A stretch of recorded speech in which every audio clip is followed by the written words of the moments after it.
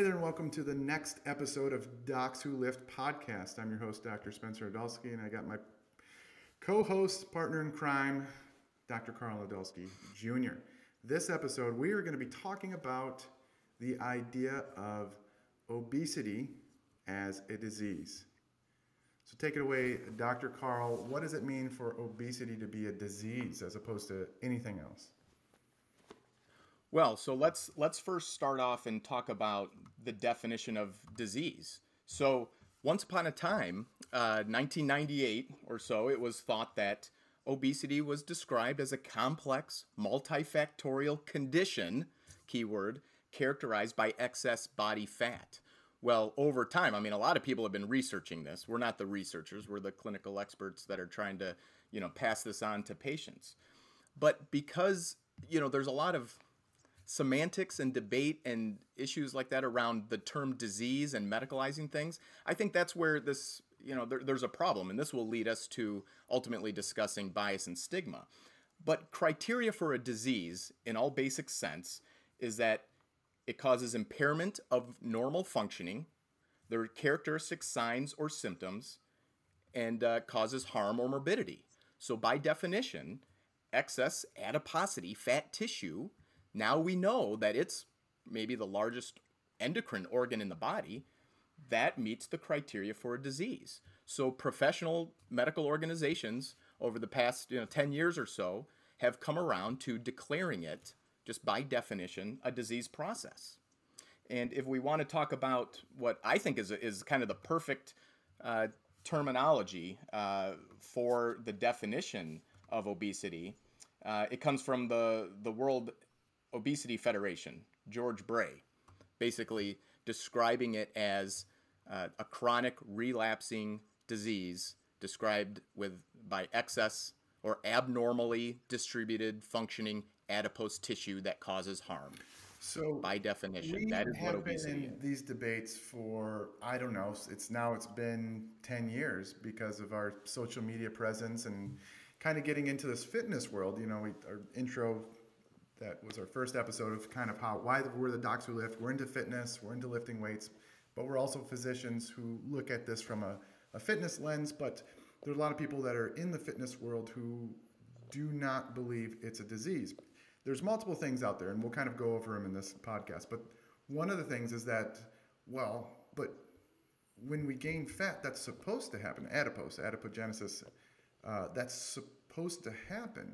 So why is that a disease then? What would you say? Well, so yeah, we all we need adipose tissue. There are, you know, in simple terms, healthy fat. Uh, when we start storing fat in places where it shouldn't be, really, that drive you know metabolic disease, or when the amount of fat is so much that it's causing other problems. And this will get us to talking about sort of that cardiometabolic disease state versus some of the biomechanical things like uh, arthritis, yeah. even. And so it's when it causes harm that's really the most sort of definitive way it's truly a disease process, but also the complex nature of energy balance and how we store adiposity and how our energy balance is, is controlled. And then, of course, all the different variables of different people at what point do we stop storing healthy fat and when does it start going where we don't want it that we'll get to later uh, essentially abdominal fat or we call it ectopic fat where it's not supposed to be the liver the muscle pancreas all that the stuff heart. high inflammation yeah. disease in the heart and those are the things that we really care about yeah i think another good aspect about this is like you said a chronic uh, remitting relapsing type of uh, disease yeah. process is this is what people don't mention when they talk about, hey, well, the fat's supposed to be there when we eat too much, uh, too many calories, more calories than we burn. We, we have to have a place to store it. And like my brother said, but then we start storing it in, in, in places that's not supposed to be there. And then it really starts causing that cardiometabolic harm. But one of the other issues is, though, when we try to treat it, when we try to help people fix the underlying issue, which is eating fewer calories, the body fights back and it makes it extremely difficult to then uh, take that weight off and keep it off. It just keeps coming back. The body fights to try to keep it on. We will have more info on that process, but that's another component of it. what about this component? This is such a this is the stupidest one, but I hear this all the time. Well, it's not like you can catch obesity. Why, why would that be a disease? When I, I have my answer, but go ahead and say why that's well, ridiculous. Yeah, that that's interesting. I mean, I guess that's people maybe just don't understand the definition of disease right. because that's just talking about what we call communicable yeah. diseases, where it's like the COVID 19, yeah. you can catch the virus and that causes right. harm. Uh, there are plenty of other ways to have chronic disease or even acute disease. Right. So communicable, um, just based on communicable definition. versus non-communicable, like what type 2 diabetes is that a disease process you don't catch it from somebody so that doesn't make any sense uh, we talk about syphilis you know whatever any bacteria virus uh, any type of uh, parasites we, we have different diseases caused by different things you can you can catch so that's that's ridiculous thing. but i see that one come up and i'm like no you're just confusing communicable versus non-communicable diseases and we have lots of non-communicable diseases obesity would fall under non-communicable what are the other ones that we hear? We hear. Um, uh, well, people people say, well, it's a lifestyle choice. Yes, that's the one, and things like that, which is. And, and that goes back to the complex nature of our biology that works against people. And everybody's different, but we know it's a complex, again, relapsing, progressive disease process. Well, and choice and, has nothing to and do evolution has put us at risk of it. And uh, yeah, there are certainly some lifestyle choices we need to do better with a lot of times.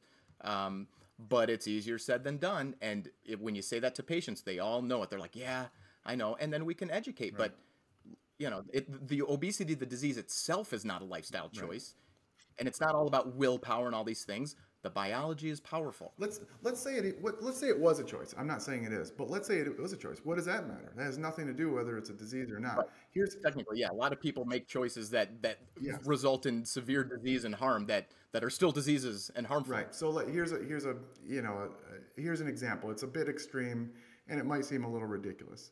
Let's say you, you someone uh, that you're uh, attracted to has uh, herpes, and you know they have herpes and this happens.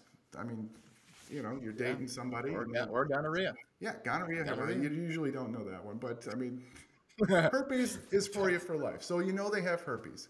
You choose to have intercourse or whatever uh, sexual relations with that person. You choose to do it, and you contract it, and you make that choice. So does that mean that it's what you have now is not a disease. No, it's it has so choice has nothing to do whether it's a disease, right. disease or not. Now we will say we'll probably have another episode on whether obesity is a choice or not. It's it's it's actually a ridiculous rhetorical super complex question because we do make choices of what we eat every single day, but it's not as simple as having uh, complete free will to, to anyway that's a whole nother discussion. Right. well, going, going back to the communicable disease example you just said we're not going to dive into any you know i don't think too controversial things but um, you know this is uh, obviously coming up right now. There are people who are making choices to protect themselves or not in in some ways from certain viruses. Right um, and uh, you know we still treat the disease if it happens. Yeah, it's, it's just yeah. because it's a, and so that, you know it doesn't make it any choices we more or less of a disease, just whether based on your choices that you make. Here's the here's the example we we would um, make analogies to, similar to hypertension, similar to type 2 diabetes uh, obesity is on this kind of spectrum that's is related to lifestyle and also genetics mind you there will be a lot of people that, despite their best efforts, will develop hypertension, high blood pressure, and maybe even type 2 diabetes. And cardiovascular disease is probably even a, a really good one, too. Now, despite that, does that, does that make those any less of, of a disease state? No.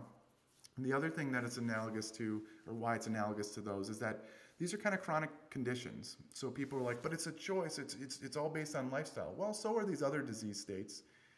If somebody with hypertension develops hypertension and you try, they try their best with lifestyle and they uh, aren't doing it and you, you, you give them a drug, right? When, they, when their blood pressure comes down, you know, do you, do you stop the drug? Usually not. You, you usually keep them on the drug. Well, with obesity, and this is something that we'll get into when it comes to talking about a whole episode on obesity medicine. People think that we shouldn't even treat it. uh, with any type of medicine because it's just a choice and they just need to eat less. So this is something. Well, here, here's in, in addition to your to your analogy there, I would argue that most of those diseases you just described, while they have complex genetic backgrounds and some of them have very specific genetic tar- you know causes and and other targets, most of them are what I would call obesity driven diseases yeah. or adiposity based diseases. Right. It doesn't that you don't have to have a huge BMI. We're going to circle back to this in a little bit. Yeah. But high blood pressure, insulin resistance, type 2 diabetes, the, the that dysglycemic, that bad sugar spectrum, um, and uh, you know cardiometabolic disease, risk of cardiovascular disease, those are adiposity based chronic diseases, complications of the disease of obesity. Yeah. And so they're all within that potential spectrum. Um, and uh, yeah, so lifestyle is the frontline therapy. Yeah, but I think we still have to know, treat it. My brother, my brother's good with, with his friends with some of these uh, researchers who are maybe trying to rename obesity, um, the disease of obesity, because there will be some other people in certain communities that will say, yeah, but not all obesity is as harmful mm-hmm as others. For example, I know somebody that has a BMI, they're 300 or whatever, however many pounds, 400 pounds, and they don't have type 2 diabetes, uh, and they seem to be living well. And it's true that we have different, what we call phenotypes of where we store the fat. My brother talks about this, but whether you're storing it on your hips and your legs and you're able to expand that subcutaneous fat, the stuff that you can kind of pinch, versus whether it stops expanding and it starts being deposited in our different organs where it really starts wreaking havoc on our uh, on all our cardiometabolic systems, our lipids, our blood pressure, and everything else. So, why would it be? Why could we call it a disease in in one person versus another person? Should we base it only on anthropometric measures, meaning like BMI or even waist circumference and, and weight, or should we start looking beyond this and looking at it a more clinical picture? What would you say? Yeah.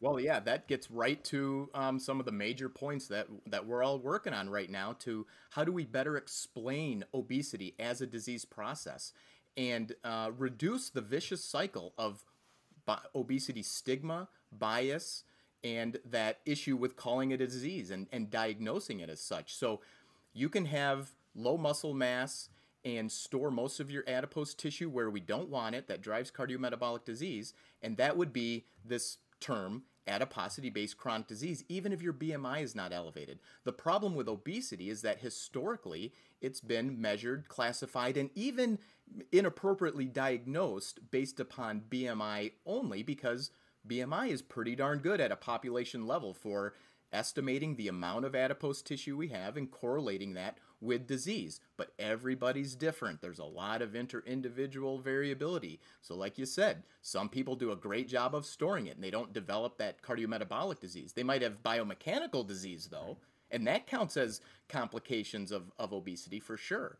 But at any BMI, depending on your genetics and other factors, you can be developing severe uh, adiposity based chronic disease, disease complications of obesity. And so we really have to get away from the BMI, the weight, the numbers on the scale, and start thinking about this uh, in a more clinical manner. What's on the inside is what counts. And so, what are the risks of those harms? What are the harms themselves? And really, that ultimately, when we talk about other therapies, that's what should dictate how intense we are with our uh, efforts from lifestyle through medicine and surgery and all that stuff. Yeah. I uh, someone was arguing with me on my Facebook. I'm always arguing with people on the internet, but um, I posted about how you know carbs. You get paid the big bucks. You can lose. You, what's that? I said that's why you get paid the big bucks. Yeah, I get paid the big bucks for arguing with people. You, there's some. I, I posted about how you can eat carbohydrates and still lose fat, despite spiking your insulin uh, acutely from eating carbohydrates. And someone said, no, but there are people that are uh, lean that have a BMI of below 25 mm-hmm. that have type 2 diabetes. And it's like, I had to explain, well, you know, some people have different, what we call personal thresholds of how much fat they can store before it starts causing problems. So, as my brother said, somebody could be very under muscled and have very low muscle, so their, their body weight's low, and they start gaining more and more fat. And they technically have according to a BMI, uh, they're lean, and that's what the studies would show. This person, they would say this person's lean. But if you looked, probably did a well, DEXA scan or an MRI, you yeah. know, we could probably see yeah. the differences. And, and I'll give you an anecdote to this. Um, in in talking about some of these things, I was recently working on some upcoming uh, fatty liver guidelines, and you know we're debating. We're trying to come up with a consensus, very evidence based recommendations, but we still have to come up with a consensus on how to promote this and educate people. And we were debate having this exact debate with the liver experts on you know obesity uh, at, at, BMI and all that stuff and they said well but but what about the people who are lean? They don't need to lose weight. And I said no no. By definition fatty if it's if it's non-alcoholic fatty liver that's driven by adipose tissue in the liver like these other obesity related complications then it by definition is an adiposity based chronic disease. They just don't have an elevated BMI they're not lean. Their liver right. has fat in it by definition. And so um, another example, you know, uh, if you look at just mainstream guidelines, ADA, we start screening uh, people uh, from certain Asian ethnicities at lower BMIs for type 2 diabetes. 20, a BMI of 23 is considered overweight yep. because they store, uh, in general, this is these are generalizations because we have to pick up, you know, it's population health a little bit. And we, we need to screen them for diabetes at lower uh, BMIs because it's not just about BMI, it's about their individual adiposity and the harm it's causing. Now, there are other causes of, of diabetes, so there are also misdiagnoses, mind right. you. Right, there are different uh, monogenic causes of diabetes. Obviously, there's type one diabetes, so there's certainly more to it, which is why you know, we also require very holistic evaluations and considerations for any individual. Yeah, no, I mean that's that's where it comes down to a clinical, a real good clinical diagnosis. We'll probably do a podcast all about the BMI at some point yeah. and how that's uh, a little bit controversial in yeah. some people. Our, our, BMIs are elevated despite low body fat and, and car- good cardiometabolic health, I think. Regarding that person that's uh, under muscled despite having a, a low BMI and fatty liver, that's where we'd be like, docs who lift, maybe we should start promoting lifting weights. Absolutely. Put some muscle. Very important. Yes, absolutely. First line dietary quality, weight training, very important for that person, regardless of maybe the energy balance issue. Here, here's a question for you. What's the point of even calling it a disease? Like, this is where people are like, why, why do you even have to call it a disease? Like, that's just, it, it, it may that, cause people to feel like they're uh, helpless, uh, hopeless, that they think. there's some studies around this, whether it does or no, doesn't. You know, yeah. I, I, don't know, but uh, what would you say to those types of people? Yeah, that I mean, and that's a tough. You know, I think that's up for you know discussion. Why do we call anything a disease then? Yeah. Um, I think there are reasons beyond maybe our level of expertise actually that have to do with uh, coverage. Nothing of, above our treatment. Let's just be honest. so coverage of therapy for disease. Yeah, yeah, we know everything, right? Um, therapies for disease, coverage. Um, and, you know, again, not to be political at all, but it does tend to drive policy. Yeah. You know, there are government policies and things like that. And and I think I would argue that most people are more maybe accepting and acknowledging their own obesity as a as a difficult disease, disease to deal with, and they actually feel better that um, you know they I don't think they feel helpless in my experience. It, that's it anecdotal. I, I, don't know. The data are mixed, but it depends on how you frame it. And I don't necessarily tell patients yeah. you have a disease. It's called obesity. I right. I describe it You're as right. look, you've tried everything, and it's because there's a biological driver. I don't have to even say it's a disease, yeah. but I, I, do think right. You're right. They, the, the, the patients don't even necessarily care that much. They know if you describe it as a complex disease that's hard to deal with, or you don't even have to say disease, but a, you know the the diseases that come from it. I don't they, even have to say acknowledge and, and, like right. Yeah, I know. I don't. Yeah, I don't. I, I and I often use the term weight yeah. And uh, and yeah, we could debate that, and there are different you know studies on whether that's better or not. but we'll um, you know, I say, look, it's it's hard. It is. Yeah. It's, it's, it's, it's easier said than done, and and they embrace that, and they say, okay, wow, and I said, now let's find a way to help you. There, there, we, we've gotten in arguments like, why call it a d- d- disease? And then, you know, when we say it's like, well, it comes down to funding. Can we get more treatments for it? And then it's like, well, then that's it's thought that there's this conspiracy of big pharma and big government are getting together. And you know, okay, is it possible there's something there? Yeah, there's money involved. But I will say, I will say, uh, when we get into our podcast of how to treat, how to actually treat obesity uh, from this mindset of treating it like a disease, and we talk about medicines and surgeries and all this type of stuff. I would say I'm th- I am very thankful for, especially as a clinician, for my patients to have these different therapies, to, to, to moving on to this idea of it being a disease and treating it as such. Because I think we just haven't been good at it in the past, other than uh, maybe surgery yeah. in the past. But yeah, absolutely. And uh, you know, and I think it gives us a framework for for helping patients and, and other clinicians too when we get into you know maybe we'll talk about you know the diagnosis and staging later rather than just obesity as a disease but right. it helps us going back to the whole bmi versus the you know what actually matters you know i say it's what's on the inside that counts to patients and we should stage the severity of the disease based upon what risk they have of other chronic complications or what already complications they have and so, you know, going back to our American Association of Clinical Endocrinology that I'm involved with, you know, we, we stage it zero, one, and two. Uh, do you have zero complications and you're truly, truly healthy, but you have excess adipose tissue that puts you at risk of some of those diseases? Okay. Do you have mild disease? That's still something we need to address a little bit more aggressively. Or do you have pretty severe disease like type 2 diabetes, you know, all the components of metabolic syndrome, severe sleep apnea, severe knee arthritis. Those things uh, are need to be treated more urgently and uh, with more intensity. And and so it helps us in that regard. Forget the BMI. You like you said, you can have a BMI of uh, 57 and have no complications, probably unlikely, right. but unlikely, um, you certainly are at high risk of problems and should be treated. But you can have a, a BMI of 23 with the right genetic milieu and uh, and have some severe disease. It doesn't mean you have to lose 100 pounds. It means you have to treat the disease process. Yeah. So yeah, just before we end here, I think about a patient. You know, let's say a 40 year old um, uh, woman who has a BMI of let's say just around 30, but absolutely. They're, they're running marathons. They feel great. There's no knee pain, no blood sugar issue. Everything's perfect. And I do get mm-hmm. these patients.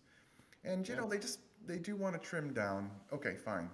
Uh, according to BMI, they would have obesity, just BMI, but they would very low staging. They, did like, I don't know, I, I don't know yeah, if you well, keep up your habits. You, so that person would be a stage zero. Yeah. But I would also argue yeah. that that person is treating her obesity. Right. With, so she has excess adiposity at risk. She is treating it with pretty intensive lifestyle therapy. She's maintaining her weight and not developing the complications of obesity. So I'd argue she is treating her obesity already, even though we're going to talk about fine tuning it.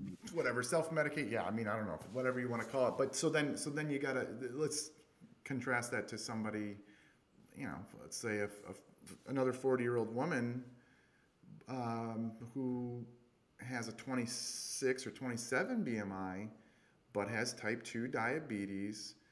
Uh, probably has an elevated waist circumference because she's holding it in her ab. You yeah. know, the, she's so, storing it abdominally. Quite, quite different, quite different um, scenarios there. So, uh, anyway, that's that's a point. The, the whole po- point of this podcast is describing this idea of obesity as a disease.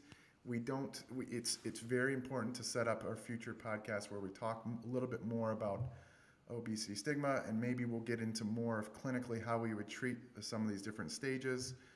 Um, and, and then also it sets up, you know, the discussion of medication versus surgery, how intense we need to uh, be treating. And then we'll go into, we'll go and have podcasts all about like specific obesity related mm-hmm. conditions and how to maybe uh, yeah. uh, optimize treatment there. But anything else, Dr. Karl? No. I think that's right. I think, uh, you know, the other thing we'll talk about is maybe a little bit more detail into the complexities of the energy balance system that works against us that we keep referring to. Right. Um, sometimes people like to hear like the, the more nerdy nuances of that. Um, you know, I had a mentor once uh, in endocrinology who said, embrace the complexity, but act with simplicity. So we have to try to balance this out for people. Some people like to hear all the complexities, some people just want the simple answers, but um, we'll try to give both. All right. Very good. That's it for Docs Who Lift podcast, all about obesity as a disease. Till next time.